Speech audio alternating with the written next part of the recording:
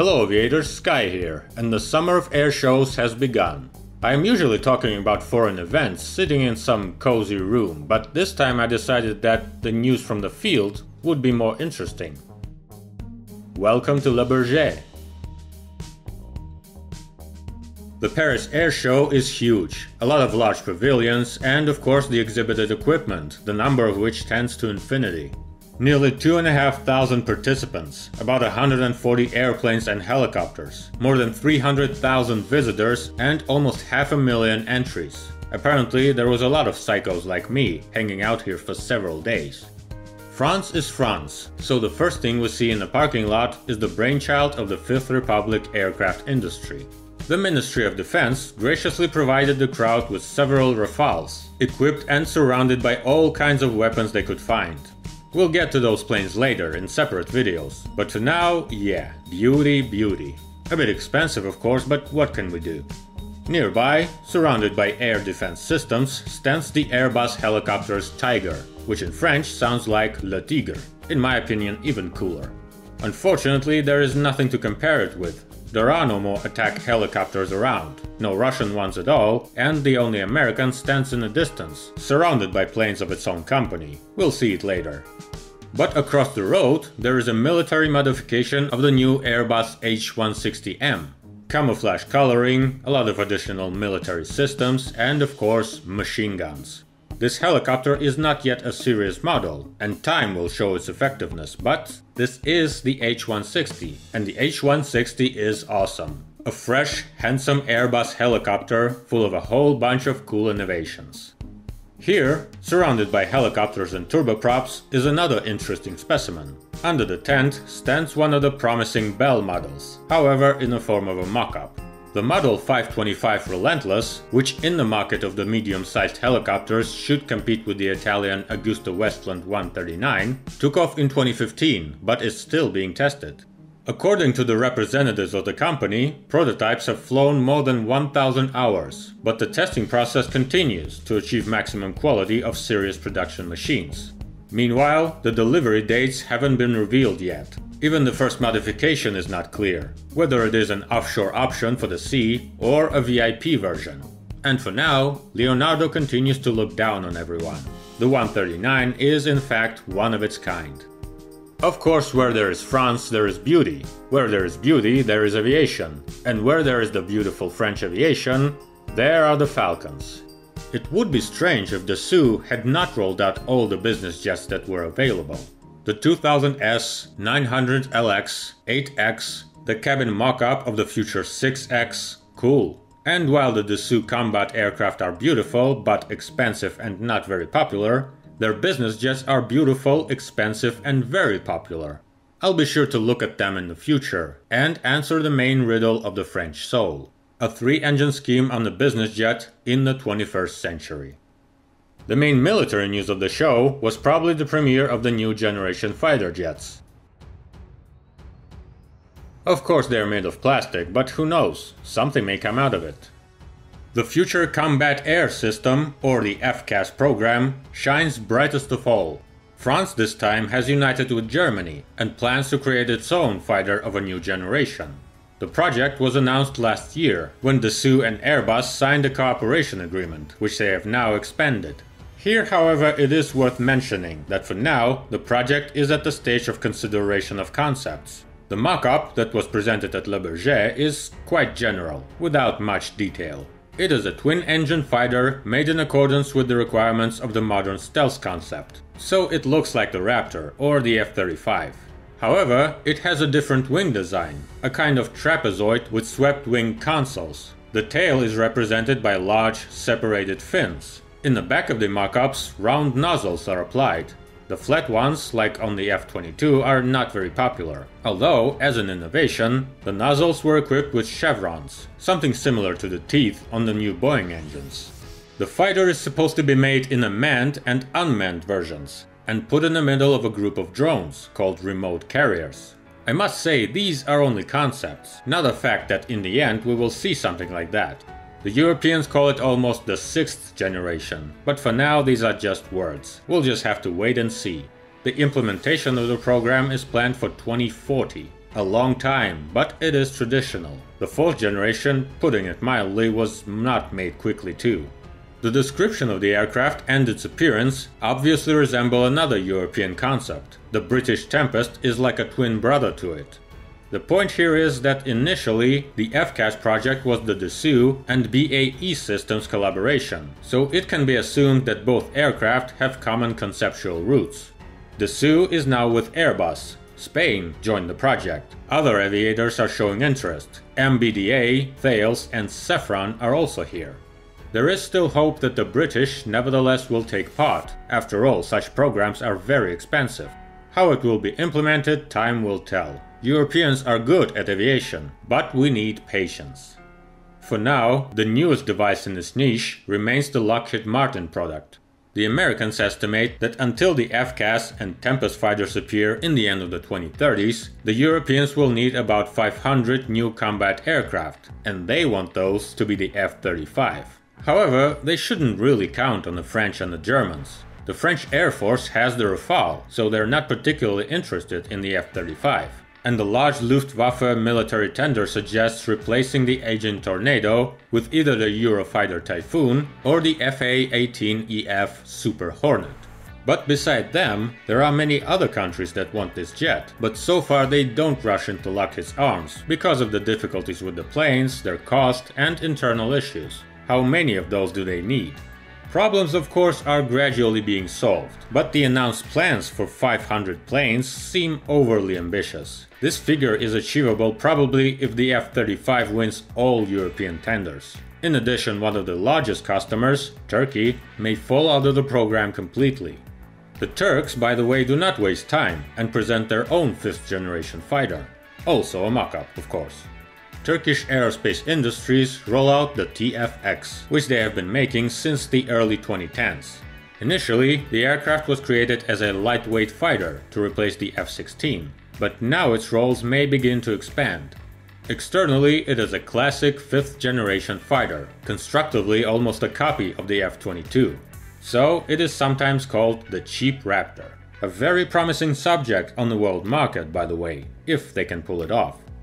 BAE Systems and Rolls-Royce are helping. It is planned to use the EJ200 modification from the Eurofighter Typhoon as a fiery heart. Nozzles, once again with a round section and chevrons, a new Paris fashion trend.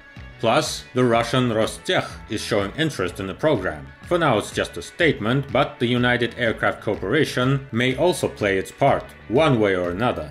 The actual aircraft, according to the Thai plans, should appear by the mid-2020s. Very ambitious. Over the light airplanes and fighters, the transports are towering. The A400M and its Japanese jet brother, Kawasaki C2, the Asian exotic. The first thought, huh, a twin-engine C-17. But it is a wrong thought. In general, not many people know about it, but there is something to see. Born to replace the old C1 from the 1970s, it is equipped with a pair of GE CF6. Yes, not the newest engines in the world, but it can carry up to 36 tons or 81,000 pounds of cargo. In this regard, it is almost a direct competitor to the A400M, the Airbus military transport plane. The aircraft made its maiden flight in 2010 and is now being delivered to the Japanese Self-Defense Air Force, with the potential for export to several other interested countries. It is not going to conquer the world, of course, but nevertheless, there it is, alive and real. Mitsubishi presented at the air show their MRJ airliner, which was rebranded and is now called the SpaceJet M100. In Paris, Mitsubishi signed an agreement of intent with a promising North American company to purchase 15 aircraft by 2024. For now, that is all. They already have orders for a couple of hundred planes, so the customers are just waiting for this miracle to finally start operations. However, against the background of conversations and expectations of this long realized project, few people have noticed the no less significant events. The fact is that the Japanese want to buy the CRJ program. Yes, Canadian regional jet from Bombardier. Apparently, the Canadian company decided to get rid of the assets in the field of commercial aviation and continue developing only its business jet line. C-Series turned into the A220, CRJ will turn into the JRJ or something like that, and the Q-Series turboprops are going to Viking Air, another Canadian aircraft manufacturer, which, by the way, at Le Bourget, received orders for the good old DHC-6 Twin Otter, CL-515 amphibian firefighters, and several Q400 airliners. The Japanese apparently decided to return to the aviation industry seriously. It is not yet clear how they will be forming the line, but at least their competences and service network may turn out quite good. A couple of Swiss are passing us by the good old PC-12 and the new one, PC-24 Jet, which will complement its turboprop brother. Both planes, by the way, promise to attend at MAX, the Moscow Air Show in August, so we will have a chance to meet them closer. Brazil threw a couple of their own bombs into the flame of this aviation party. First of all, of course, the Embraer E195 the big brother in the new E2 generation, traditionally wearing an elegant coat, this time kind of a cyberpunk line with the signature Profit Hunter. The hunt can be considered successful, an order for 37 planes plus another 41 aircraft of the little E175 model. The main customers are KLM and United Airlines. The business division was introduced by the brand new Praetor 600, the little brother of the Legacy model. Praetor accommodates 12 people and flies almost 7,500 kilometers, or 4,000 miles. Catalog cost $21,999.99. Embraer has a cause for celebration at this airshow. It turns 50 years old. Therefore, they put these things all over the place. So yeah, they're the same age as Airbus. It's a straight up double birthday.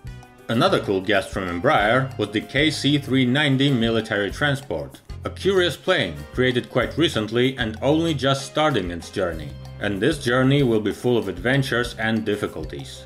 I'll go a little ahead and say that here, on the static parking, there is a couple of already quite familiar aircraft. The C-130 Hercules in the H and J versions. The fact is that even though these planes are cute, looking at each other from different sides of the airfield, now they are actually big and sharp-toothed enemies confrontation of manufacturers, airplanes, and even the concepts. The C-130 is a classic military transport aircraft. A straight wing, four turboprop engines, a powerful landing gear. It has already proven itself a million times, has many modifications, is very flexible in operations, reliable, and knows how to pull its masters out of trouble. At the Farnborough show last year, its civilian version, LM100, was performing loops as a demonstration of maneuverability. The capabilities of the aircraft made it Lockheed Martin's pride and a very important model. The C-130 is the Boeing 737 in the world of military transport aviation.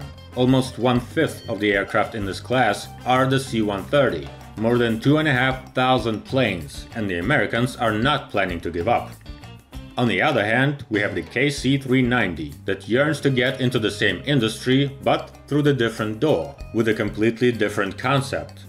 The Brazilians are saying, yes, straight wing, turboprop engines and the classic design are good, but your plane is already old. Come on, it's from the mid 1950s. Besides, four engines and a bunch of old components are expensive, and the straight wing turboprop is slow, only 400 miles per hour, and this is 2019.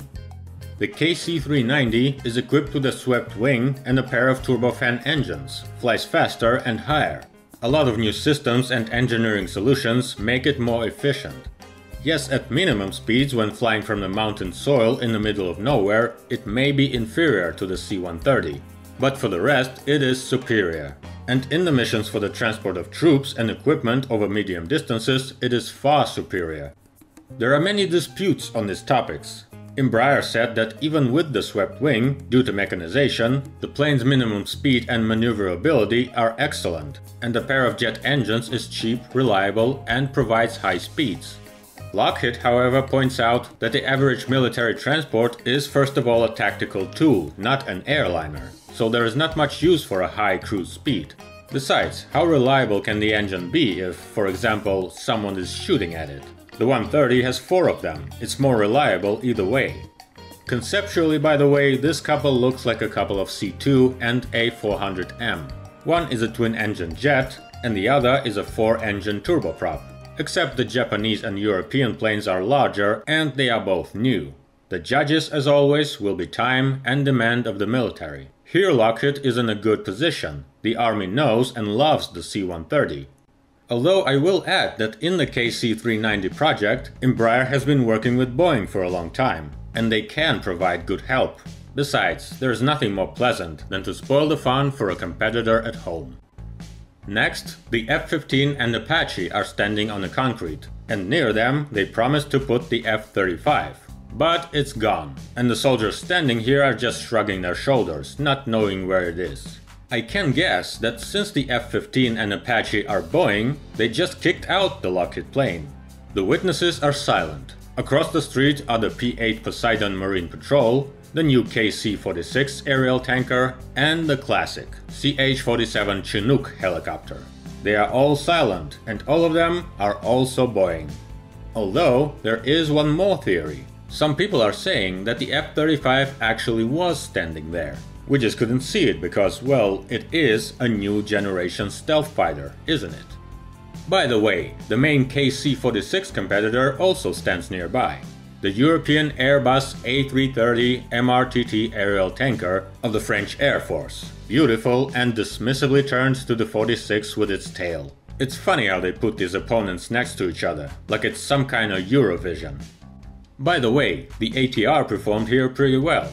Their ATR 42-600 and 72-600 turboprops scored orders for as many as 145 aircraft, Although they are mostly memorandums and options, still not bad at all, given the rather modest demand for turboprop regional planes nowadays. Apparently the cool pink color somehow has a positive effect on Asian customers. Most of the portfolio came from the Indonesian Nusantara Air Charter.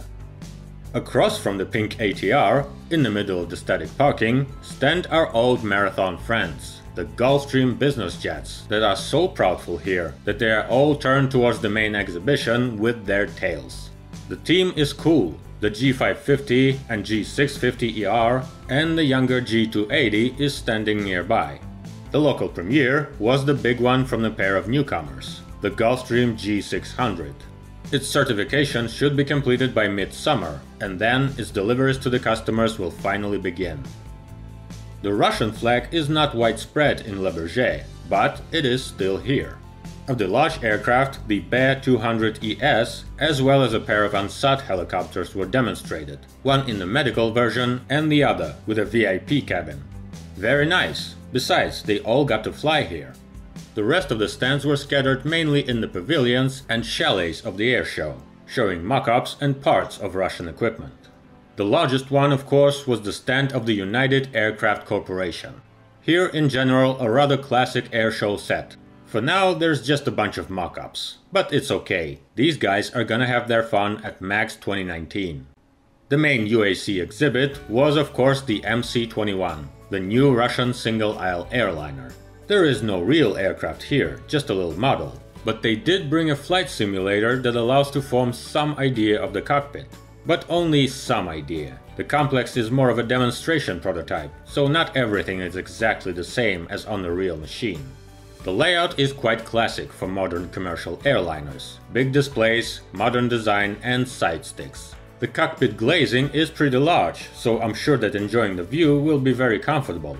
For pilots, of course. We will continue looking through the windows. Again, Moscow Air Show. There we will see the MC21 as a whole, and it will be glorious. Hmm, the story turns out to be very long.